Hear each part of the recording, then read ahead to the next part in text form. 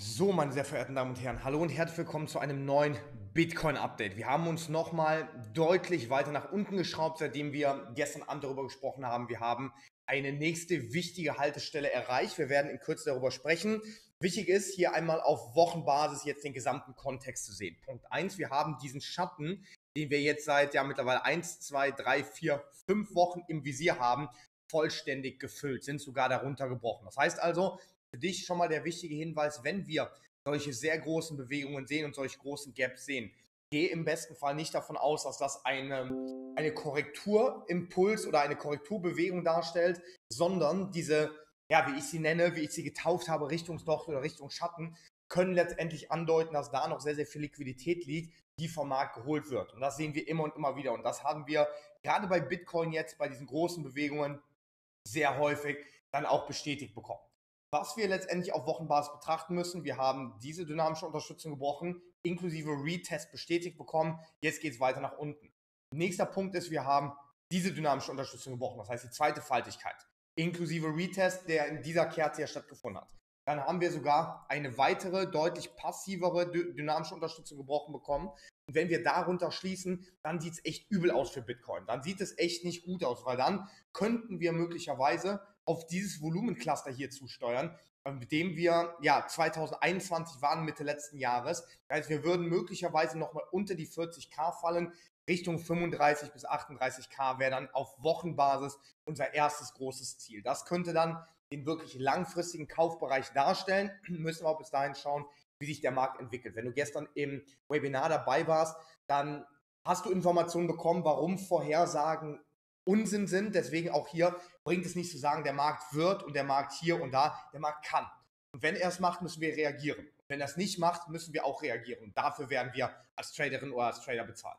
Vielleicht ist es auch mal spannend, in den Monatschart zu gehen. Und im Monatschart sind wir natürlich noch in einer Aufwärtsbewegung, weil das letzte Tief, was hier stattgefunden hat, bei 35k lag. Das heißt, solange wir auf äh, Monatsbasis nicht unter die 35k fallen, sind wir tendenziell noch in einer Aufwärtsbewegung. Trotzdem auch hier wichtig, zwar haben wir hier ein neues Hoch gebildet, aber das neue Hoch hat nur einen ganz, ganz kleinen Vorteil erreicht. Also dieses All-Time-High, auf das wir dann letztendlich per Schlusskurs gekommen sind, nicht den höchsten Kurs, der jemals erreicht wurde, sondern per Schlusskurs Price-Action-Basis, zeigt nur ein ganz knappes höheres Hoch. Was bedeutet, die Marktdynamik nimmt hier deutlich ab. Und dementsprechend können wir nicht direkt schlussfolgern, dass wir hier so einen Trade oder so einen Trend nach oben bekommen. Ich glaube, ich habe, habe ich gestern abends noch hochgeladen auf Instagram, ansonsten werde ich es gleich machen, ein Bild oder quasi so eine kleine äh, Zusammenfassung, wie ein starker Trend aussieht und wie ein schwacher Trend aussieht. Und so sieht definitiv ein schwacher Trend aus, wenn wir knapp höhere Hochs bekommen und der Markt sofort abverkauft wird. Das hier ist ein starker Trend, wo der Markt hier vorherige Hochpunkte letztendlich deutlich übertrumpft und dann auch erstmal ordentlich zurücklegt. Diese Imbalance, die über Hochs entstehen, dass die zeigt, hier sind ganz wenig Verkäuferinnen und Verkäufer. Aber hier sehen wir ja, dass das vorherige Hoch direkt abgefangen wurde. Und, und das ist einfach eine Sache, die hat sich halt leider geändert. Ähm, was wir hier gesehen haben, diese starken Bounce, die Möglichkeit besteht, dass es nochmal passiert, zu 100 Prozent. Aber zu diesem Zeitpunkt hier wurde letztendlich nicht angekündigt, dass die Zinsen in wahrscheinlich schon zwei Monaten erhöht werden. Das heißt also, der Marktkontext hat sich geändert. Und das ist letztendlich zugegebenermaßen das Schwierige, aber auch das Wichtige, dass wir nicht einfach holzkopfartig versuchen, das, was schon mal passiert ist, genau blind nochmal zu machen. Es haben sich Dinge geändert. Die Zinspolitik ist kein Phänomen, was sich von heute auf morgen ändern wird oder letztendlich was von heute auf morgen verschwindet. Entsprechend groß ist letztendlich die Wahrscheinlichkeit oder einfach der Hinweis, dass letztendlich für die nächsten Wochen und Monate und vielleicht sogar zwei, drei Jahre es ging für uns beängstigend, weil es die Vision, wir können mit Bitcoin von heute auf morgen reich werden, deutlich, deutlich in die Bredouille bringt. Nochmal der Hinweis, das ist kein Vehikel, um leicht oder schnell reich zu werden. Börse ist der schwierigste Weg, um schnell Geld zu machen. Ja, immer wieder, immer wieder vor Augen führen. Entsprechend, das nur jetzt mal auf Monatsbasis, aber auch hier, falls wir letztendlich diese dynamische Unterstützung auf Monatsbasis irgendwie stützen können, bräuchten wir jetzt bald die Reaktion. Aber das Momentum spricht gerade eher für weiter fallende Kurse. So viel auf Monatsbasis, auf Wochenbasis haben wir hier dann entsprechend auch unseren Support ein bisschen weiter unten. Nach wie vor der nächste große Support, der unter den 39k liegen würde, wir sprechen jetzt gleich nochmal drüber, wäre dann tatsächlich bei den 35 bis 37k, wo sich auch gleitende Durchschnitte EMA 110 und EMA 100 letztendlich befinden, in letztendlich in Konglorat mit diesem Volumenprofil. Gehen wir mal auf Tagesbasis und da haben wir gestern eine dynamische Unterstützung eingezeichnet, von der wir gesagt haben, die müsste jetzt halten und die hat nicht gehalten. Die hat heute Morgen den Ausbruch gezeigt, weswegen wir da auch nochmal einen deutlichen Impuls bekommen haben. Das waren nicht zwei, drei Dollar, um die Bitcoin gefallen ist, sondern wir haben hier nochmal einen deutlichen Impuls gefunden. Und, und das wirst du im Laufe der Videos immer wieder mitbekommen, wir sprechen von einer Numerik, dass beim vierten Test häufig der Durchbruch stattfindet. Und verrückterweise, das wirst du auch nicht in Lehrbüchern finden, sondern das ist einfach meine Empirie, die sich seit über mittlerweile elf Jahren, ich bin im zwölften Jahr an der Börse, als sehr, sehr statistisch signifikant letztendlich dargestellt hat. Erster Test, zweiter Test, dritter Test, vierter Test, der Durchbruch. Ja, und deswegen sehen wir sehr, sehr häufig, dass der Markt ähm, beim vierten Test durchbricht. Also weswegen der vierte Test der Fall ist, sehr gut. Wir können das so argumentieren, dass wir sagen, wir haben sowas wie ein Doppel-Bottom oder ein Doppel-Top, je nach Ausrichtung.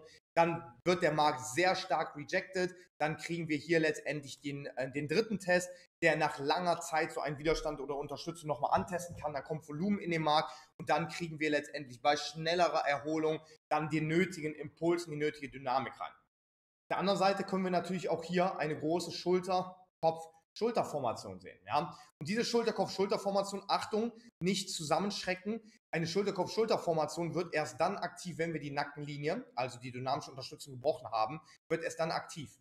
Nicht zusammenschrecken. Ich mache jetzt einfach mal was, wie wir die Projektion der Bewegung weiterführen würden.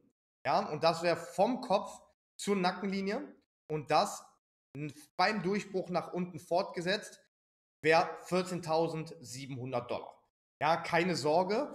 Die Chartformationen, wir haben, wir, wir finden sie immer und überall. Deswegen wirst du bei mir auf dem Kanal nicht viele Chartformationen finden, weil die ergeben sich als Konsequenz des Handelns. Aber wir privaten Retail-Trader denken, wir haben das Rad neu erfunden und wir nutzen das letztendlich als Ausgangspunkt für unsere Trades. Absoluter Humbug. Dementsprechend alle Schulterkopf-Schulterformationen, die wir finden, sollten einfach wenig Beachtung geschenkt bekommen. Ja, weil letztendlich wir sehen auch hier, dass wir den Kopf natürlich nicht vernünftig ähm, letztendlich herauskristallisieren können. Die Schulter ist nicht sauber und so weiter und so fort. Von daher einfach immer sehr, sehr skeptisch sein, wenn wir letztendlich von diesen festen Chartformationen sprechen. Trotzdem, was ein Fakt ist, wir sind hier durch diese dynamische Unterstützung gebrochen, sind jetzt hier weiter nach unten gekommen. Das Volumen hat deutlich zugenommen auf die dynamische Unterstützung. Da weißt du spätestens seit dem Webinar gestern, warum das Volumen, was auf so eine auf so einen ähm, signifikanten Bereich, auf so eine Schlüsselzone führt, warum das extrem wichtig ist. Wir sehen Durchbruch nach unten, gleitende Durchschnitte stützen die Bewegung nach unten, Struktur nach unten. Hier spricht alles dafür, dass wir weiter nach unten gehen. Wir können auch hier einfach mal die Dynamik spielen lassen und sagen, wenn wir eine AB gleich CD Korrektur bekommen, die möglicherweise nicht unbedingt ganz sauber ist, also Normalerweise hast du bei einer AB gleich CD-Struktur, hast du eine, einen Puls, der durch die Punkte A und B festgelegt wird. A, B. Und das nimmst du als Anhaltspunkt, um eine 61,8% Retracement-Struktur zu sehen, zum 61,8 Fibonacci, was dann letztendlich den Punkt C bildet. Und von diesem Punkt C kriegen wir genau die gleiche Distanz AB zurückgelegt und kommen dann oben ans 1,27er Fibonacci-Level, rein nach Verhältnismäßigkeiten.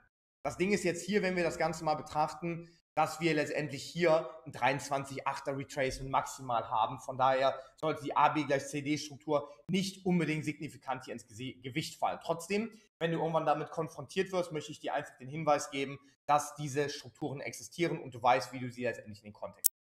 So, wenn wir heute auf Tagesbasis unterhalb dieser dynamischen Unterstützung schließen, dann sieht es letztendlich relativ schwierig aus, weil dann ist noch Platz nach unten und wir haben in den vergangenen Videos darüber gesprochen, das hier ist das letzte Strukturtief und möglicherweise werden Stops darunter liegen. Das heißt, unsere nächste Haltestelle ist definitiv 39k. Sollten wir da kaufen? Ich sag mal so, wenn du ganz langfristig ausgelegt bist und sagst, irgendwo will ich kaufen, kannst du das tun. Ich würde trotzdem darauf hinweisen und sagen, warte lieber auf die Price Action. Schau dir gerne das Webinar, die Aufzeichnung von gestern nochmal an. Da sprechen wir darüber, dass Volumen definitiv in den Support-Bereich kommen muss, um Liquidität bereitzustellen, um letztendlich auch für steigende Kurse zu sorgen. Also das ist ein wichtiger Faktor. Nicht einfach reinkaufen, nur weil da ein, wichtig, also ein interessanter Bereich ist.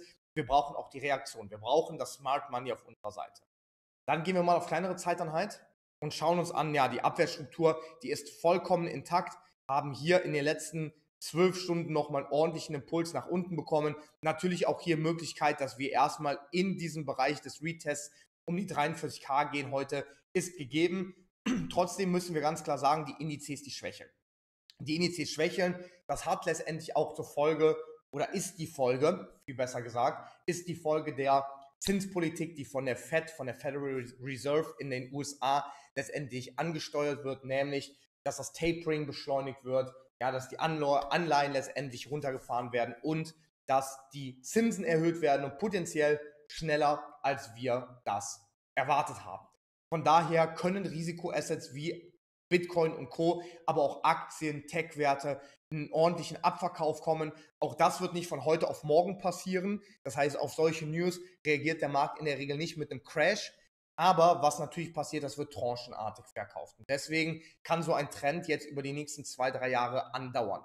Was für dich auch bedeutet einfach, keine Sorge, das heißt nicht, dass Bitcoin stirbt, aber das heißt, wenn du in den Markt gehst, solltest du einfach schon die Perspektive haben, dass du letztendlich vielleicht ein bisschen langfristiger investieren musst. Ja? Dieser Bullrun kann damit zumindest erstmal in Stocken kommen. Und das sehen wir ja hier eindeutig. Gehen wir mal auf die kleinere Zeiteinheiten, dann kommen wir auch langsam zum Ende. Wir sehen hier letztendlich der dynamische Widerstand hat wunderbar seine Hand darüber gehalten. Genau aus diesem Grund versuche ich immer und immer wieder darauf hinzuweisen, nicht wenn der Markt ein höheres Hoch macht, ist das Ding interessant, sondern wenn der Markt ein höheres Tief macht. Das ist hier nicht passiert. Wir haben gesehen, dass wir kein höheres Tief bekommen, entsprechend deutlicher Abwärtsimpuls und so, so sehr die FOMO auch kickt, wenn wir höhere Hochs bekommen, heißt das noch gar nichts. Wir brauchen höhere Tiefs. Und dies hier haben wir in der Folge keine höheren Tiefs bekommen, bevor die dynamische Unterstützung brach und dann uns hier deutlich tiefere Kurse beschert hatten. Das ist hier wieder passiert. Wir haben das höhere Hoch bekommen und wieder nach unten. Und falls wir hier möglicherweise sogar wieder kein höheres Tief bekommen, dann kann es wieder nach unten gehen. Klar, die Wahrscheinlichkeit nach diesen starken Impulsen, dass es irgendwann die Korrektur mal kommt, dass irgendwann der Boden gefunden wird, wird immer größer. Aber auch hier lieber ein paar Tage abwarten, lieber warten, bis wir hier möglicherweise in dem Bereich unsere Stabilität bekommen, unser Volumen reinbekommen, um dann auch etwas langfristiger in den Märkten für mögliche Kaufpositionen zu sorgen und zu suchen. Hier haben wir so einen Turncode Support, der interessant sein könnte. Wir müssen jetzt einfach mal ein bisschen warten, müssen jetzt ein bisschen stabil bleiben. Wenn wir dann hier diesen Turnaround sehen, alles wunderbar. Wenn nicht, kann uns das Ding wirklich deutlich um die Ohren fliegen. Von daher ein bisschen aufpassen, ja, ein bisschen Sorgfalt auf jeden Fall tragen für das Geld, was du da investierst. Und je klüger, je disziplinierter und geduldiger du das machst, desto besser wird das Ergebnis. Ich wünsche dir jetzt einen schönen Start in diesen Freitag. Ich glaube, wir haben Freitag heute. Lass dir gut gehen. Wir sehen uns höchstwahrscheinlich dann später wieder. Dein Dominik von der Wall Street Story. Ciao, ciao.